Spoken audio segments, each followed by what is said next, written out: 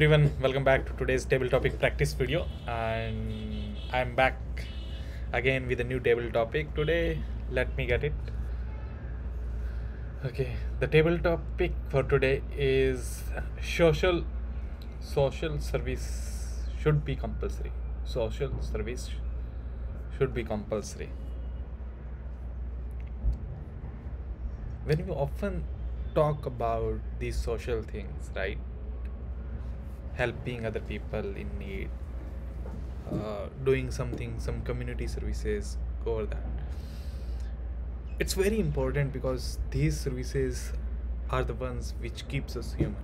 If you help someone in need, if you go out there, if you feel uh, what the common people is suffering from if you go out if you visit hospital then you get to realize that how fortunate you are if you go to uh, the poor people you will realize that uh, uh, how fortunate how grateful you should be.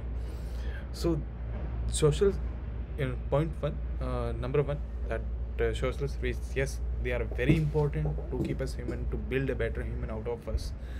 Second thing is how can we imbibe this in our culture? How can we think about it? When it comes to taking a compulsory step uh, I'm a little bit hesitant on that side because when you force something on someone, that is not serving any purpose, right? Maybe uh, we should create culture or create atmosphere out of it when everybody is failed, everybody is compelled to do something for the society. That's the path we should aspire for, in my opinion. Because if you force something upon someone then they are not going to value it much. They are not going to realize what does it worth.